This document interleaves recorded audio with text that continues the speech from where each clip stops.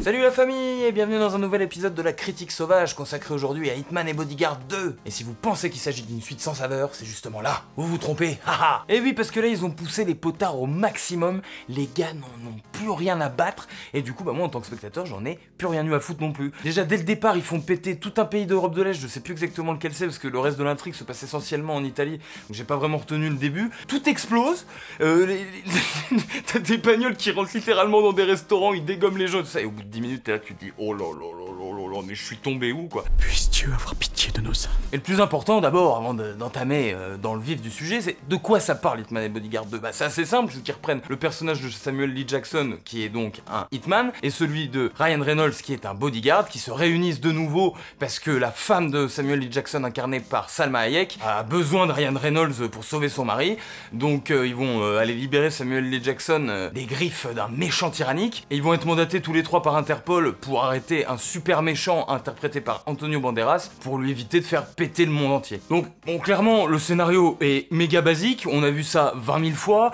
à la fin Salma Hayek se retrouve euh, enchaînée et emprisonnée dans un bateau, euh, le truc lambda, euh, typique des années 90 euh, et 80. D'ailleurs, c'est un énorme hommage au buddy movie des années 80 et 90. Le premier l'était déjà, le deuxième, je dirais encore plus. Et on est dans une espèce de déconne constante avec des tubes hyper kitsch qui passent sur des euh, scènes d'action. Donc tu retrouves globalement tous les éléments du premier opus, mais amplifiés à outrance où ils font péter des viaducs entiers d'Italie, où il y a personne sur les routes, ils font tout péter en rien.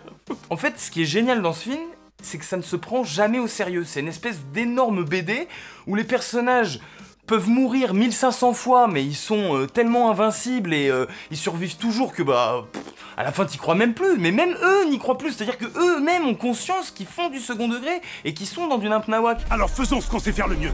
Allons tout faire exploser.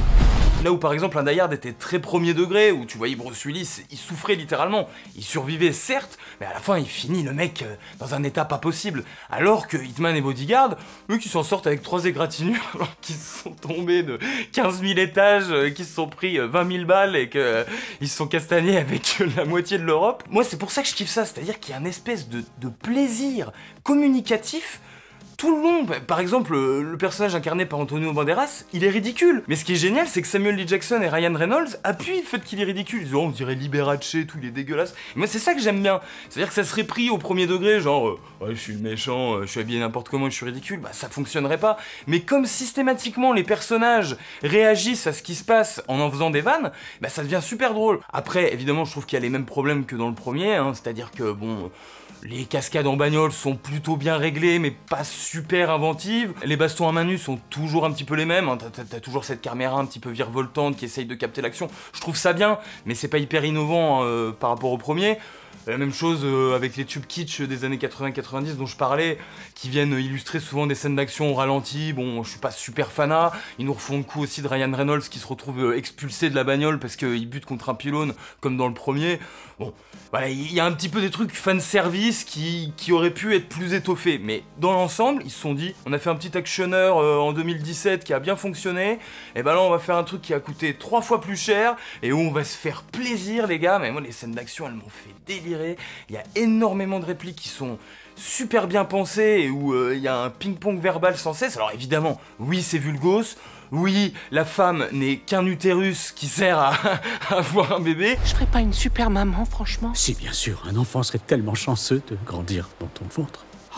Évidemment, mais là où ils sont assez malins, c'est que je trouve qu'ils arrivent à contourner le truc euh, un peu happy end où ça serait terminé, tu vois, euh, Salma Hayek est enceinte et, euh, et du coup, bah, elle n'est elle n'est là que pour enfanter et ça aurait été un petit peu limite. Et il y a une ultime pirouette, il y a une chute à la fin et je trouve ça assez malin. Voilà, quand tu vas voir Hitman et Bodyguard 2, tu sais ce que tu vas voir?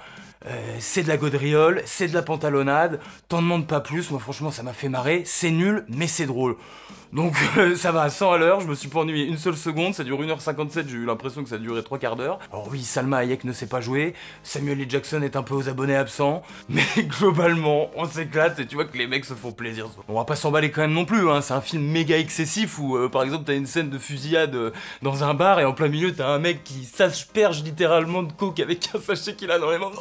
C'est génial Et je trouve que c'est totalement représentatif du film, c'est-à-dire on a, pris un rail de coke qui fait la taille d'un rail de chemin de fer et on s'en bat les steaks. Et de toute façon, bon bah c'est réalisé par Patrick Hughes qui avait fait euh, bah, le premier opus euh, en 2017, Red Hill en 2010 et Expandables 3. Donc c'est pas le mec qui est d'une finesse absolue, mais il fait le taf. Ça a une bonne tenue, la photo est je trouve moins ternasse que dans le, premier épisode. Euh, parce que le premier c'était vraiment un peu grisâtre, ça se passait à Amsterdam, tout là c'est plutôt assez ensoleillé, je trouve que ça a de la gueule et euh, globalement il y a des beaux mouvements de caméra, ça fait jamais clipesque ou, euh, trop justement trop référencé années 80-90. Non, ils essayent vraiment d'avoir leurs pattes. Évidemment, c'est à regarder un petit peu sous substance ou en ayant bu 2-3 pintes de bière, je vais pas vous cacher, on est un petit peu plus indulgent en le voyant, mais après rétrospectivement en y repensant, je dis ouais c'est quand même, ça fait bien le taf, c'est du bon divertissement par rapport au, au Show ou au dernier euh, Statham, euh, justement un homme au colère qui se prend méga au sérieux et qui est vachement moins bien que le convoyeur dont il s'inspire. Après c'est sûr que si niveau humour t'es plus branché euh, Emmanuel Mouret ou la trilogie Cornetto, voilà, si t'adores Edgar Wright, c'est sûr que tu vas pas t'y retrouver euh, avec Hitman et Bodyguard parce que l'humour n'est strictement pas le même. Mais en même temps, c'est pas le but voulu, quoi. Les mecs se prennent pas la tête et euh, ils te proposent un spectacle total et moi je me suis éclaté, quoi. Tout simplement. Après, je sais qu'il y en a qui vont me dire, ah, c'est de la merde et t'exagères, mais j'ai pris le film tel qu'il était parce qu'il te le présente comme ça en fait. Donc, allez voir Hitman et Bodyguard 2 si vous avez aimé le premier, si vous n'avez pas aimé le premier, passez votre chemin. Voilà, c'est dit, c'est carré, c'est circoncis, j'ai fini.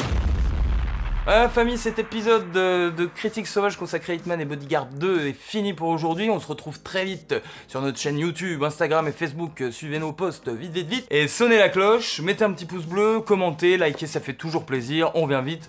Des bisous partout, vive le cinéma et à très vite les copains. Ciao